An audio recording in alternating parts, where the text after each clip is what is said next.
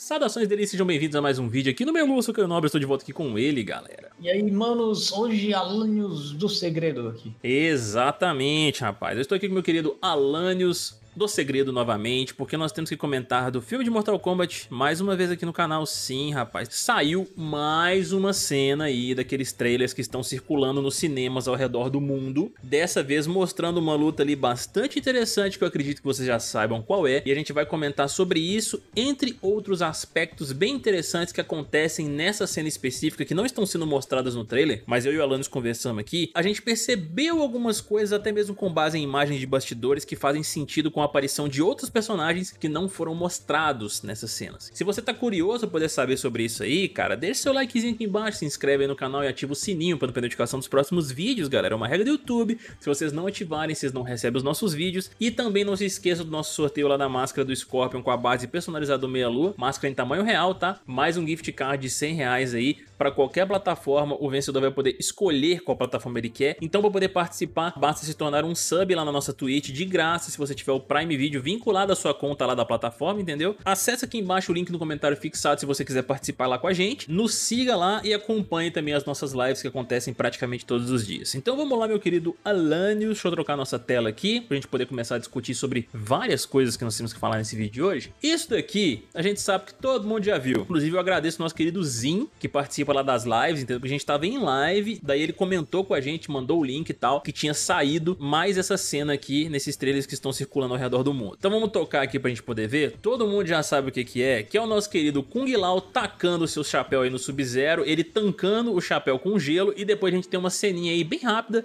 com a Milene e a Sônia, mais o dragão do Liu Kang engolindo o nosso querido Cabal com a perspectiva de lado que a gente não havia visto, né, Alanis? E aí, meu amigo, eu te pergunto o que, que você acha com relação a essa cena aqui, porque ela levanta alguns mistérios. Primeiro, o que, que esse raio do Raiden tá fazendo aqui? Ele tá dando um boost no Kung Lao? O que que tá acontecendo? O que que você acha, meu querido? Primeira coisa que eu acho é que me lembra aquele filme lá do, do Bairro Proibido lá, como que era o nome? Aventureiros do Bairro Proibido. exatamente. Então, primeira coisa que eu acho é que me lembra muito Aventureiros do Bairro Proibido ali, esses raios passando pelo corpo do Kung Lao e o Chapeuzinho ali. Filme que eu gosto muito, recomendo. Enfim, primeira coisa que a gente pensa, né, no caso, é por que que esse raio não tá no Kung Lao, tá do lado dele, né? Se a gente vê que a parte mais forte não tá no no Kung Lao tá do lado ali. No entanto, a gente percebe que o Kung Lao tá tirando vantagem disso, então não é alguma coisa que tá aí para machucar o Kung Lao. Consequentemente, é algo que me parece ser o, o Raiden chegando ou alguma coisa assim. É a primeira coisa que dá para pensar ali. Então, mesmo que, que o Raiden tenha mandado um relâmpago de lá de cima ali e tal, ele errou o Kung Lao. Mas ele, a intenção não era essa, então provavelmente deve ser o bastão do Raiden do lado ali e ele tá chegando, sabe? É o que eu penso. Tem uma coisa interessante que a gente tava conversando antes de a gente continuar falando sobre a cena aqui, se vocês olharem uns TV spots pra trás, que nós inclusive trouxemos vídeo aqui no canal, nós separamos essa cena aqui, ó, especificamente. O Raiden tá mandando um raio, não sei em quem, pode ser em alguma pessoa, ou então ele pode estar tá mandando justamente aquele raio que vai lá pra baixo pro Kung Lao, mas ele tá na parte de cima. A gente tem até essa espécie de para-raio que a gente fica brincando, do Raiden, né, nesse templo dele. Ele chega, manda esse raio, e a gente vê na cena seguinte que esse raio desce aqui, ó, as estátuas e tudo mais. Pode não ser a mesma cena, ao mesmo tempo que pode ser sim. E desce especificamente lá para aquela arena, que a gente vê o Kung Lao ensinando o Ko Liang, lutando, né, fazendo sparring com ele. E aí se a gente voltar novamente para aquela cena do Kung Lao que tá sendo mostrada lá no trailer, ó, reparem que é sim essa mesma arena de areia e tudo mais, que a gente pode ver aqui, ó, os lances de escada e tudo mais, ó. A gente vê os lances de escada, a gente vê a areia, as pedras, então eles estão sim naquela arena lá embaixo. Então me parece a mesma cena, o Raiden lá de cima manda esse raio, ele desce ele de alguma forma para poder, sei lá, de repente dar um boost, proteger o Kung Lao, alguma coisa do gênero. Daí ele taca esse chapéu, acaba por fugir, alguma coisa do gênero, entendeu? Porque o Raiden parece ter poder até de teleportar a galera, porque a gente vai chegar num frame que a gente separou aqui, pra poder mostrar pra vocês, onde ele bate o cajado dele, levanta um raio no tempo e ele parece levar essas pessoas pra um outro lugar. Mas aí, cara, um outro detalhe legal nessa cena é o seguinte, mano. O Sub-Zero, ele faz uma estaca de gelo na mão pra poder tancar esse chapéu. Porque, meu amigo, se ele não tivesse feito isso aqui, ele deu sorte dele ter poder de Criomancer. Se não, amigo, ia ser mão pra fora, ia ser cabeça rolando e tudo mais. Ele deu uma sorte absurda. Se fosse um humano normal aqui, já era. Privilégios de Criomancer, né? Eu tenho uma teoria diferente a respeito da, da cena do, do Raiden ali mandando o raio. Eu acredito que aquele relâmpago que mostra ali e tal, deva ser algo antes desse, dessa chapelada aí do, do Kung Lao, tal, ou alguma coisa muito próxima. E o Raiden mandando o relâmpago ali, eu acho que ele tá mandando o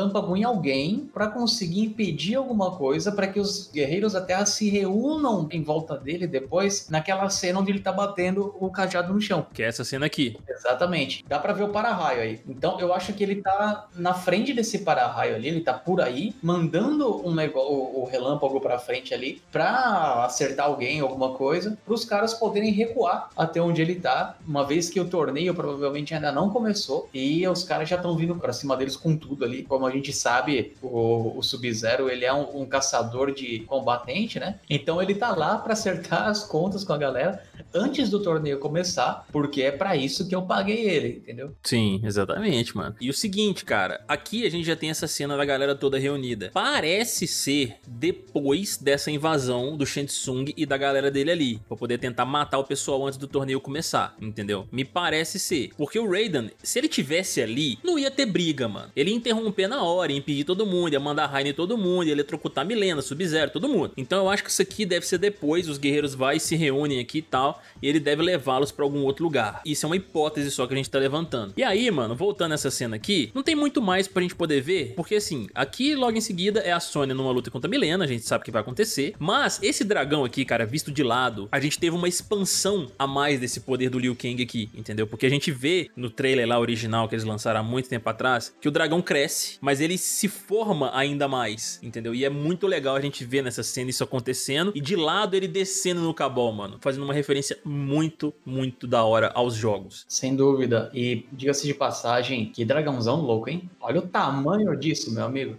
com, com, asas e tudo mais, mano. E tem um outro ponto que nós não podemos deixar de comentar, que é o seguinte. Essa cena da invasão aqui, no templo do Raiden e tudo mais, que a galera vai começar a lutar ali, eu comentei com o Alanios, a gente fez um vídeo sobre isso, inclusive. Tem um frame específico nesses TV spots que lançaram aí, que mostra o Shensung nesse mesmo lugar, saindo de um portal, e a gente acaba por ver também, nesse mesmo lugar aí, Reiko e Kabol junto com ele, entendeu? Se vocês repararem nos TV spots, uns vídeos pra trás que a gente fez, a gente até colocou essa imagem específica numa capa de um vídeo. Eles estão sim nesse mesmo lugar aqui, entende? E aí a gente começa a pensar, tá, mas a gente só viu Milena e Sub-Zero lutando contra essa galera. Daí, eu e o Alan, a gente foi dar uma investigada novamente para trás, imagens que foram lançadas aí, divulgadas na verdade por meios não oficiais, dos bastidores do filme do Mortal Kombat. E nós temos, cara, principalmente esta cena, a gente tá pegando de um vídeo nosso que a gente mostrou pra vocês, ó. Aqui, ó, do Reiko com o seu martelão e tudo mais, segurando o Jax, que provavelmente já tá com os braços de ferro por conta dessa roupa azul que ele tá usando aqui, que é pra utilizar, obviamente, um chroma key, entendeu? Pra eles colocarem em computação gráfica esses braços dele ali, pelo menos a parte de trás aqui e tudo mais. E na frente a gente já viu em uns trailers e nos TV spots que fica meio esquisito aqui no peito dele, então é sim a computação gráfica que eles estão utilizando. E o cenário é o mesmo, Alanios. Olha olha só, a gente tem a areia, aqui a gente tem as pedras em volta, a gente tem essa espécie de, vamos dizer assim, né, arquibancada aqui para poder assistir a luta. E para aqueles que podem não estar se convencendo, reparem só nesses pilares pretos aqui, ó, no fundo, nesse mesmo cenário. Se a gente for para a cena das estátuas onde tem Raiden e Fujin, vejam só que a gente tem esses mesmos pilares pretos aqui também, ó. E a arquibancada aqui bonitinho, a areia. Então é sim a mesma cena ali no templo Raiden. Ou seja, não é só aquela galerinha que a gente tem visto nos TV spots que estarão envolvidas. O Jax também deve estar aqui no momento. E a gente teve um estalo aqui, lembrou disso e tal, e falei,